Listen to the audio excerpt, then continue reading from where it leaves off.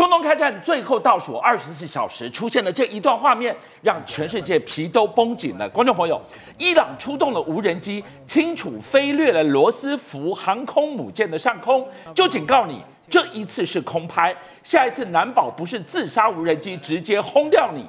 而昨天我们才说，乔治亚核潜舰震慑狼群，让伊朗不敢嚣张妄动，结果。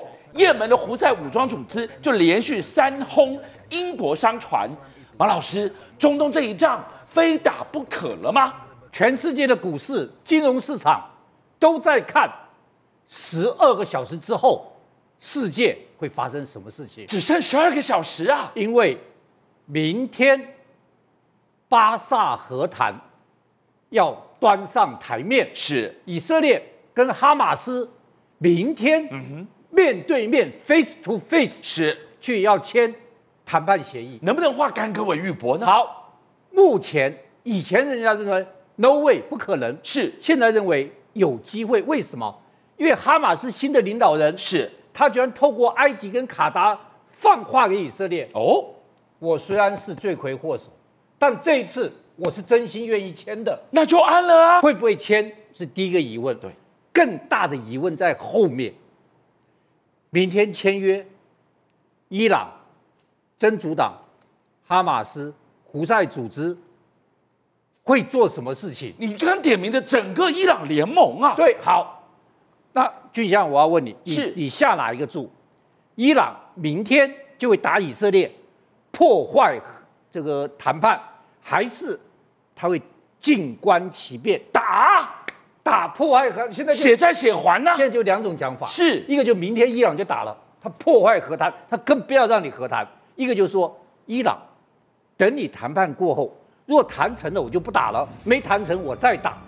哇，这两项哇变数可大了。但是我告诉你，对，风雨欲来，这个风满楼，根本不平静。我跟大家讲，看这什么东西。这是以色列第二大人特拉维夫被，这是飞这个火箭弹的这个眼看到没有？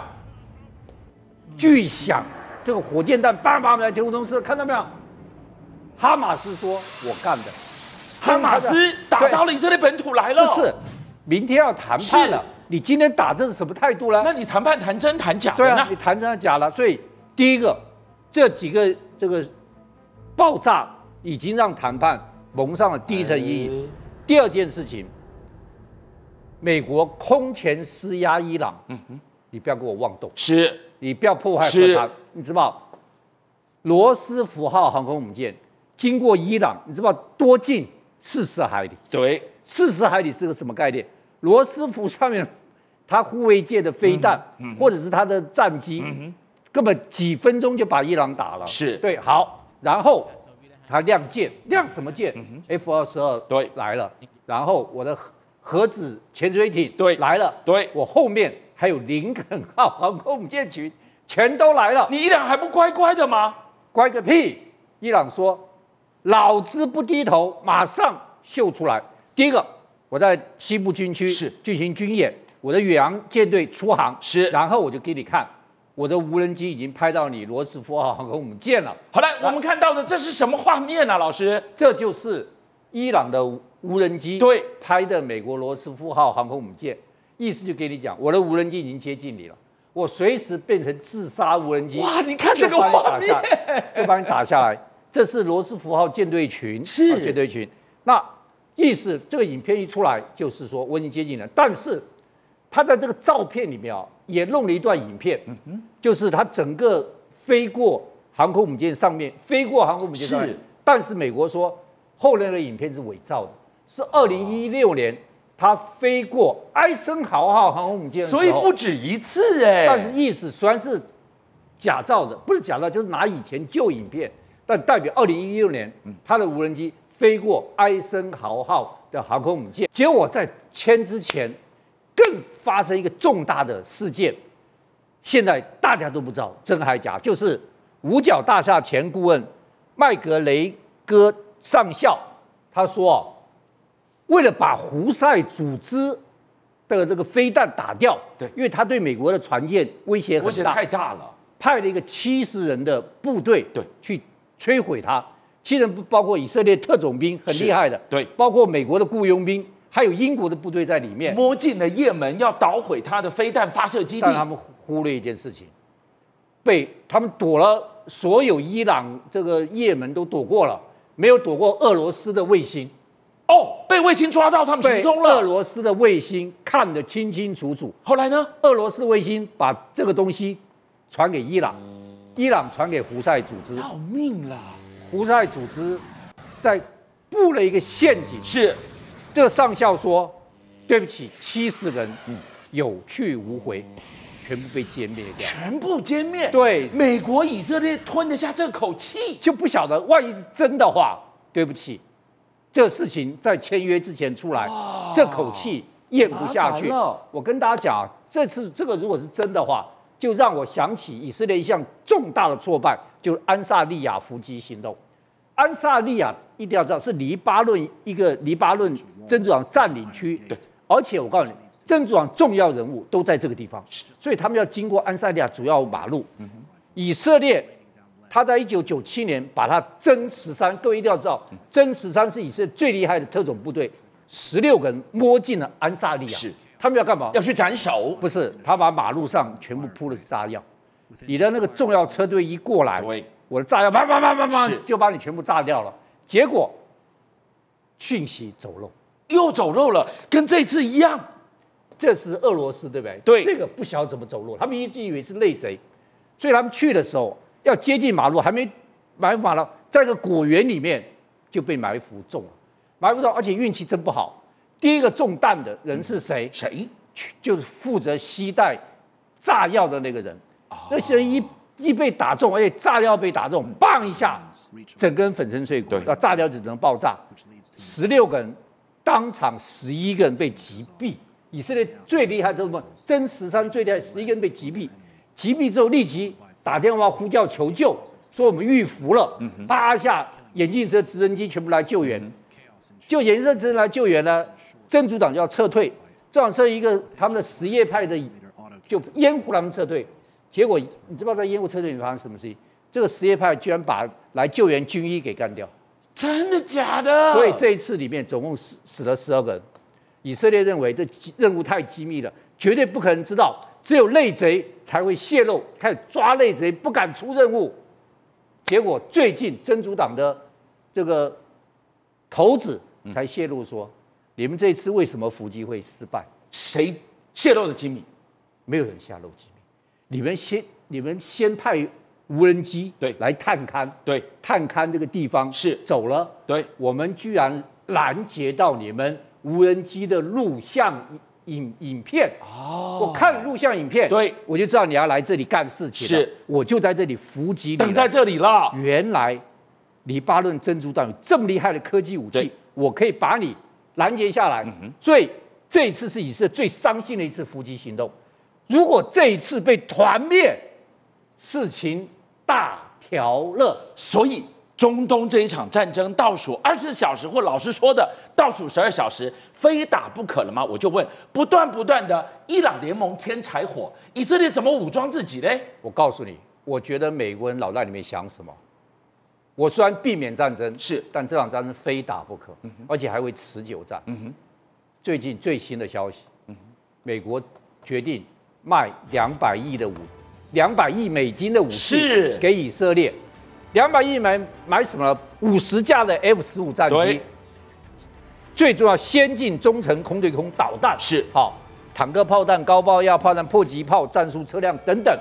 其中最重要的，居然美国把五十架 F 十五最新的 EX 进驻以色列，卖给以色列。炸弹卡车进到以色列，我们过去都知道，老师也讲过这个故事。以色列是全世界最会飞 F 十五的国家对，它会如何帮以色列如虎添翼呢？简单讲，这个新的 F 十五 EX 本来外号叫米格杀手，专门载米格机的。对现在新新的名外号叫什么？叫弹王。弹王弹王就是它可以携带十二枚是，空对空飞弹，对，二十四枚精准投掷炸弹。除了弹王之外，它还有一个独臂刀王，独臂刀王，它是全世界唯一。各位导播来看这个这个照片，翅膀断掉了，还能够飞回机场，全世界唯一的一架独臂刀王的 F 十五。这个太不科学了，怎么可能？简单讲，以色列拿 F 十五跟 A four 在空中模拟空战，是以色列训练跟一般不一样，它模拟空战真的打空战。就两机居然太激烈，空中相撞，是相撞。A4 的飞行员弹跳升空，对，F 十五放一下，各位看，机翼被被被弄掉，消掉了一半，消掉一半，都拍下来了，机翼消了半。刚开始仪表全部失常，然后它螺旋向下转，对，螺旋下转，因为它没有机翼了嘛，这一定完蛋了。叫它跳伞跳伞，它把推力一推大，哎。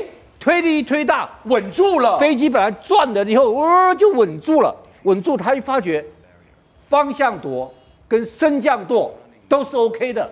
哎，升降舵啊，就这个，他就开始飞起来。最重要来了，以色列空军打给麦克道格拉斯公司说，单机单翼可不可以飞？那个麦克道格拉斯说不可能，他飞回来了。世界上绝无可能。但是他就告诉他说，我们的飞行员把 F 十五。飞回来了，大家们好奇，居然倒数二十四小时，中东要开战了。美国迅雷不及掩耳，这个军的这个军备大礼包送进以色列，为什么？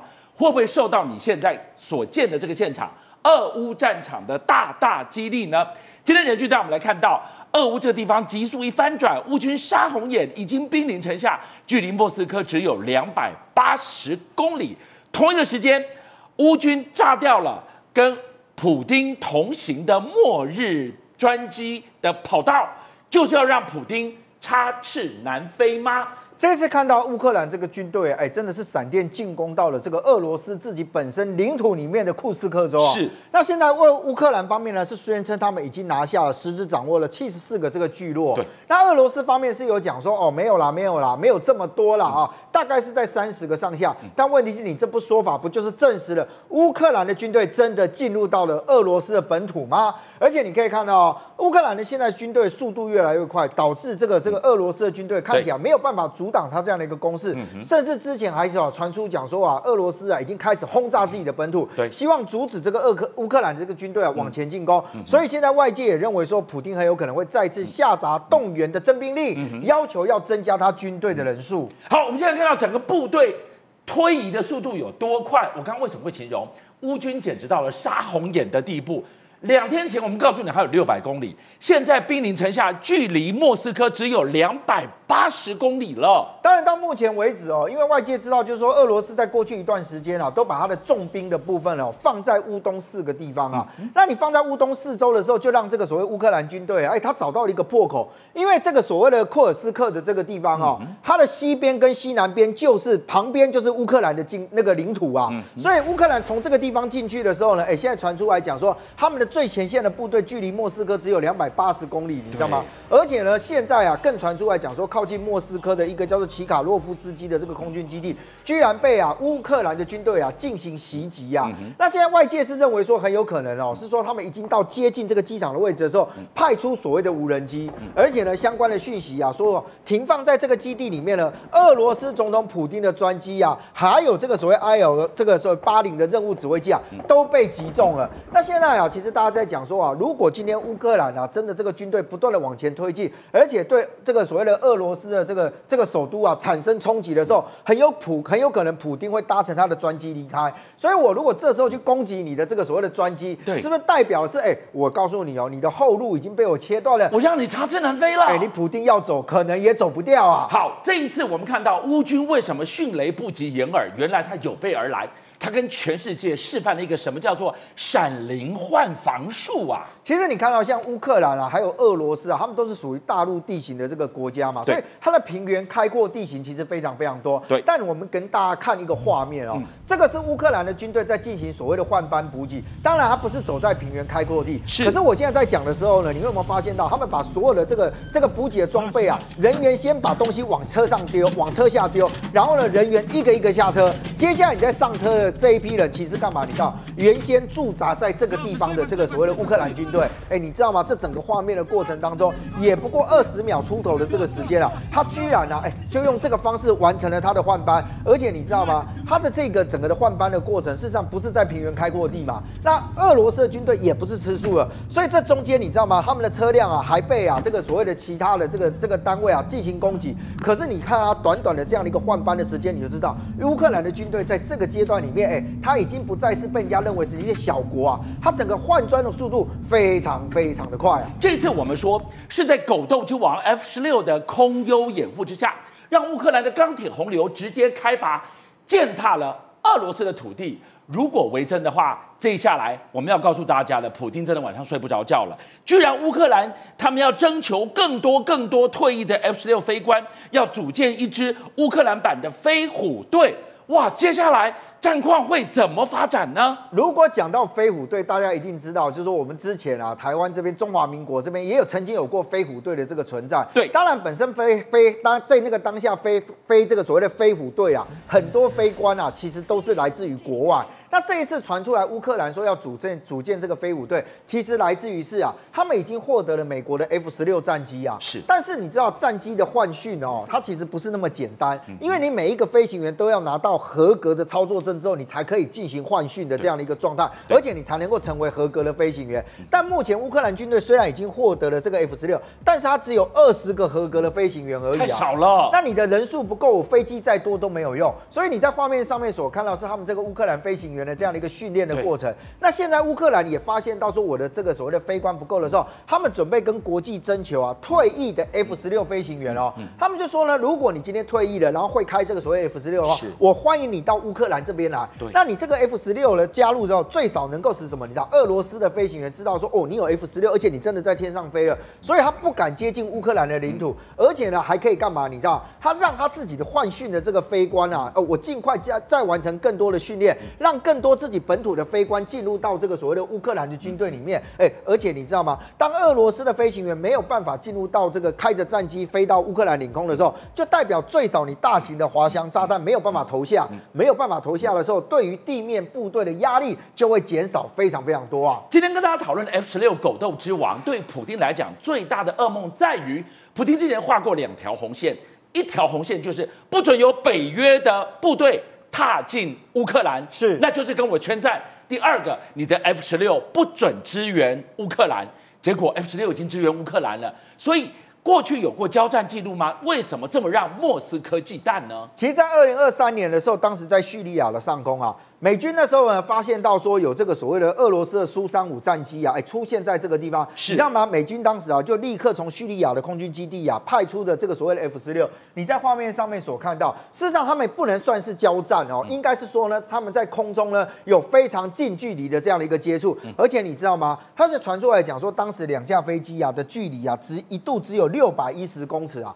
那六百一十公尺在地面距离上面看起来其实是有一段哦，可是你知道在空中大家飞行的速度都很快，那个六百一十公尺的部分呢，哎，那就造成他们非常短距离的交界。你想想看哦，只要稍微动作有一点点偏差，一个眨眼毫秒之间呢，很有可能两机不是在空中相遇，很有可能就直接相撞啊。是，所以对于俄罗斯来讲，他当然知道 F 十六的整体的这个性能啊，而且呢，你看哦，现在乌克兰讲说我要走组这个飞舞队，你以为飞官这么好找吗？退役的飞官有。这么多吗？我告诉你，国际上早就已经有私人的承包商在做这种航空训练了，还真的有他的人才库、军火库在哪里？其实，在美国的这个所谓的德拉肯国际公司啊，它目前就是所谓的全球规模最大的航空私人承包商。那它的概念是说，其实像我们讲航空私人承包商，都以为是开民航机啊，或者没有，他们专主责的就是各国的所谓的战机呀。那你看哦，他们前这个公司拥有一百五十多架的战术飞机，而且还有各国不同的这个机型。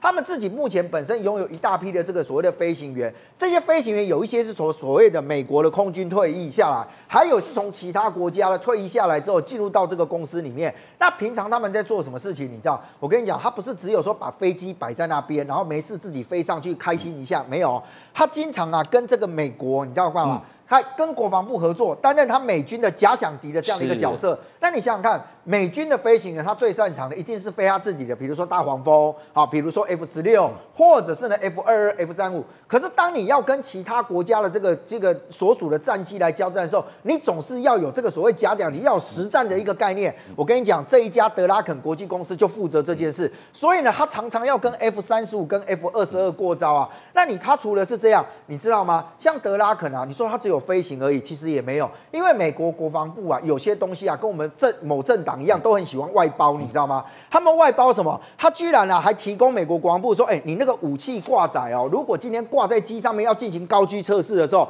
因为你美军实质上不愿意去，就可能为为了这个所谓的安全的考量，这个民间公司居然就帮他做武器挂载的高居测试，甚至连新的雷达或什么的东西，哎，他全部啊都由这个公司来承包。那你想想看，乌克兰现在讲说我需要有大量的这个所谓的退役的飞行员进来，如果这间公司呢，还有它相关的这些类似的东西，通通都进入到乌克兰里面去的时候，对乌克兰来讲，F 十六战机飞行员缺少的问题就不会是问题了。继续发展下去会怎么样啊？你的前沿部队已经距离莫斯科两百八十公里，如果 F 十六组建的飞虎队也凌空在俄罗斯本土的上空的话，哎，普丁哎。猫，你给它逼到墙角，它会变老虎哎哎，这个老虎很可怕的是，它如果乖乖的趴在那边，可能没事，但现在就怕普丁会咬人，你知道吗？现在英国的金融时报也已经讲说啊，普丁啊下令这个所谓的海军要以核武呢来瞄准欧洲。那事实上在之前啊，这个俄乌开战之前啊，有俄国的这个飞官啊，据说在简报当中就已经透露讲说，是在他们整个的那个所谓作战计划里面，是把法国跟英国呢都处在他们的飞官的打击范围里面，甚至你如果从现在来看哦。虽然讲在地面战的部分，可能可能在传统的武器上面啊，俄罗斯看起来出现疲态。对，但是呢，俄国现在保留它水面舰艇携带核武的这个能力啊。你在画面上面所看到了，事实上啊，在之前我们提到锆石超音速飞弹的时候啊，是讲说它从飞机上面发射。但你现在画面上面传出来，现在据传啊，它在这个海军舰艇上面所发射的，就是这个所谓的锆石极音速的锆石巡弋飞弹啊。那你看哦，事实上这个所谓的锆石巡弋飞弹，它的射程大约有在一千公里左右。最重要是它的速度。为什么它讲说叫做极音速？你知道因为它的飞行速度达到极致的时候，会将近以音速的九倍啊。是。那音速的九倍，其实像以九马赫来讲，我们现在的这个所谓的这个这个防御武器啊，大概三到四马赫，你大概都还可以想办法去拦截它。那你九马赫不是快到？没有办法拦截了。那你没有办法拦截的这个状态之下，对于他要打击的这个被打击方来说，一定是一个很大的压力。对，所以呢，如果他今天真的发射了这个所谓的极音速锆石巡弋飞弹，用在海军舰艇上面，很有可能会让欧洲各国啊，哎，减少它的反应时间，反而呢，让这个俄罗斯啊，哎，掌握到他们所谓的制空权。五七报新闻的所有好朋友，你们给了我百万的订阅，真的无限感激。我要跟大家瞪眼看。再一次谢谢你们大家，同时请介绍更多好朋友来支持武器报新闻。俊相还有优秀的武器报新闻团队会继续为大家每一天挖真相。